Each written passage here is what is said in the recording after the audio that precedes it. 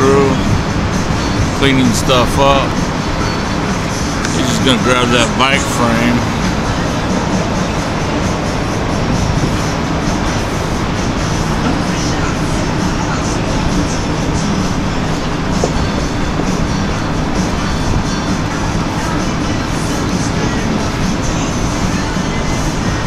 Now she's looking at it.